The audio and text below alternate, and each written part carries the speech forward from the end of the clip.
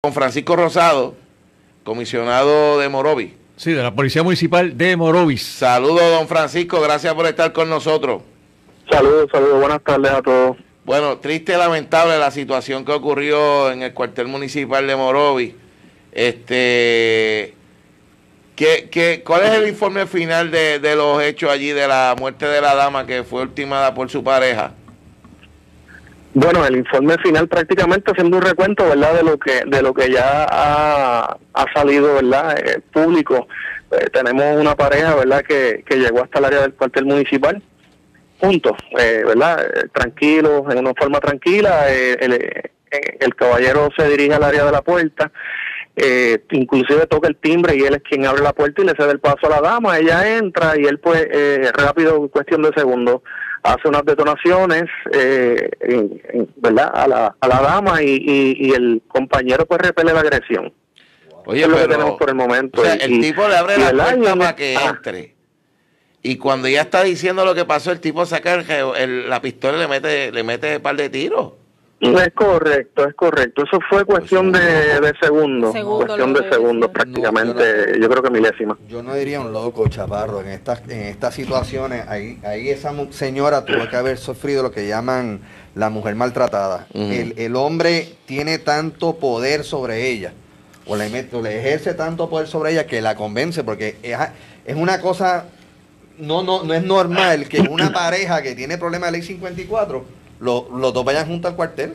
Claro que no. Y después que le abre la puerta, la puerta le abre.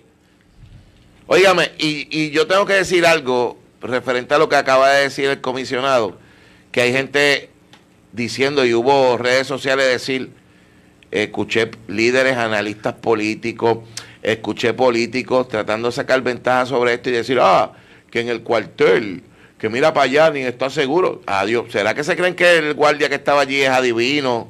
O que es que eso es una cuestión de segundos, sino que me lo diga el oficial Pero que está ahí. Él está diciendo que milésimas de segundo. Por eso. Oye, eh, en ese sentido, ¿verdad? Eh, eh, hay que hay, un- hay evidencia fílmica que, que apoya lo que yo te estoy diciendo. Es cuestión de, ¿verdad? Entiendo que en su momento, pues, eh, eh, posiblemente se haga público y, y en realidad, pues, van a poder apreciar eh, con la rapidez que sucedió esto y inclusive diría yo la rapidez con que se reaccionó dentro de- de- de- del marco de la situación, ¿verdad? Comisionado, el policía que disparó de ustedes, ¿es- ¿era el retén? Perdóname. El que disparó, ¿era retén? ¿Estaba en el retén? Correcto, el compañero que repele la agresión era estaba asignado en el retén, sí. Pues reaccionó bastante rápido, porque un retén, no, de verdad que, lo- lo- hay que felicitarlo porque reaccionó bastante rápido.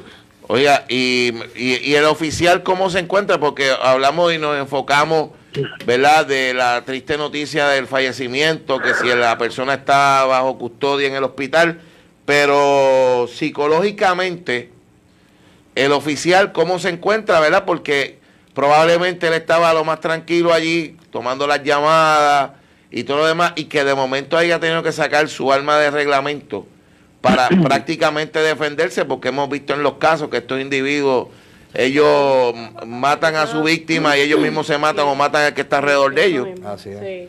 En ese sentido, fíjate, pues te puedo decir que el personal estaba bastante tranquilo, en este caso el compañero que, que verdad que estuvo en la situación, independientemente verdad de, de, de lo que sucedió y pues nosotros como administración le, le estamos brindando un apoyo eh, no solo a él, a toda la matrícula y el personal, obviamente en especial a él que estuvo directamente, verdad, y estuvieron en esa, él y otro compañero, Salento, que estuvieron en esa línea de fuego, pues obviamente los estamos atendiendo con, con, con prioridad.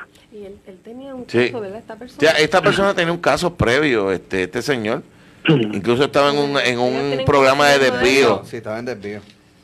Es correcto. De acuerdo a la información que tengo de la policía de Puerto Rico, pues este caballero tiene algún tipo de expediente previo a este incidente. Ay, madre. No, no hizo Wow. background check. No, no, la señora no hizo background check, parece. Definitivo. Este, Ah, bueno. bueno, es triste por demás. Eh, le agradezco, ¿verdad?, que haya estado con nosotros. Eh, yo me imagino, ¿verdad?, que, que tan pronto la persona le den de alta, pues le van a, a notificar a ustedes, ¿verdad?, para entonces los testigos y, y eventualmente radicar la cantidad de cargos que se le van a someter a este individuo. Eso es correcto. La División de Homicidio de Arecibo ya está, se tiene la, la investigación del, del caso. Eh, precisamente, pues, eh, se encuentra en el proceso de levantamiento de expediente, que, que próximamente, una vez, pues, la persona esté disponible, entiendo yo, se van a estar radicando lo- los cargos que se entienda a través de fiscalía. Bueno, pues agradecido, comisionado, por estar con nosotros y mucho éxito. Seguro, a su orden siempre. Bien, Francisco Gracias. Rosado, comisionado de la Policía Municipal de Morovis, con nosotros para hablar sobre este lamentable, caso, situación. sí. Eh, Pero mira, una vez más, Chaparro, como dices tú, El no check hicieron no el background hacen. check porque estaba, estaba actualmente estaba en, en, en una No, escuelita, ¿no? Según, según los familiares de la el víctima, programa de desvío, ¿no? ella llevaba un patrón de maltrato desde hace tiempo. Wow. Ok. Eh, Y, O y, sea que y lo él que está estaba diciendo ya el licenciado Hernández Ajá. es cierto. Oye, Ah, ah, eh, ok, cierto es, ¿verdad?